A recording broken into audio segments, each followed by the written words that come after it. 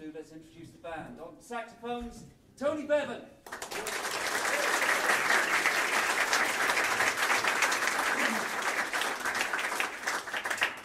On bass, John Edwards.